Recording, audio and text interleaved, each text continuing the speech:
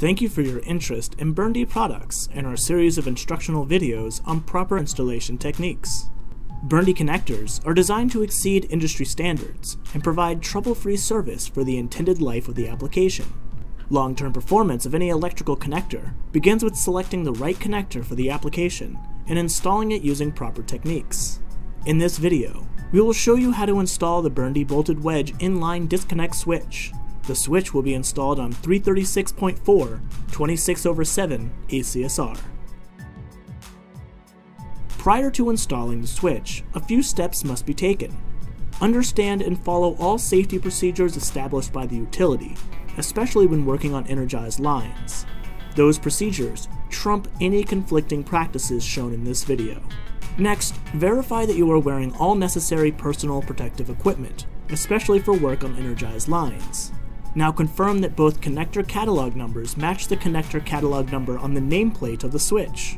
It is possible, on some switches, the catalog number may have a suffix CON instead of C. This is the equivalent to the C on the connector, and that the conductor being used matches the range shown on the switch. Next, verify the conductor being used fits in the range shown on the switch. Next, verify the dark gray oxide inhibitor coats the inner groove of the connector, and that the connector moved freely when it is squeezed. Moving on to the switch, verify that dark gray oxide inhibitor coats the cable groove. Next, verify that both swing pads are oriented perpendicular to the cable groove, and that the pad swings freely by pushing it down. Lastly, open and close the blade to verify it is not bound. Next, thoroughly wire brush the conductor to remove all oxides. To begin the switch installation, firmly grasp the switch so that the cable groove is face up. Next, lift the switch to the conductor and guide it onto the cable groove until the conductor snaps onto the swing pads. If the swing pad does not snap or the conductor is too loose, it may be necessary to loosen or tighten the swing pad accordingly. Tighten the eye bolts under the switch until the swing pads firmly hold the conductor. Next, hold the connector so that the hot stick tang is facing down, and then squeeze the connector by pushing on the bolts to open the connector. Now, attach the connector so that the upper cable groove rests completely on the conductor and that the lower connector groove is on the rudder. Slide the connector so that the back of the connector is flush with the back of the rudder. Now repeat the step for the other connector.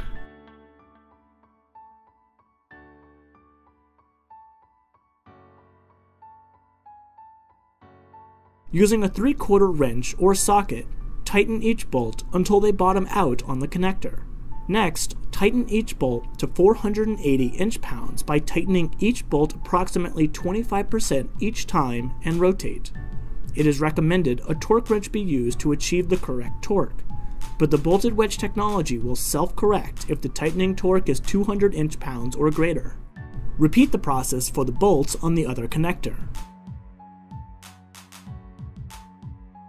Using an approved cutting tool, cut the conductor in the center. Next, either pull the conductors up or cut them off per your utility's work methods.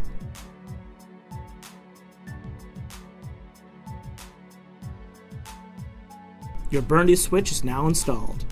For written installation instructions or more information about your splice, please visit burndy.com. Thank you.